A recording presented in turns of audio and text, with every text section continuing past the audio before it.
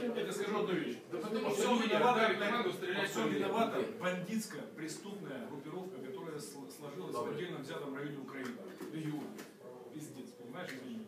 Вот это она пришла сюда, заставила всех так жить, наклонила раком, и сегодня мы вот из этого все имеем. Вот и все.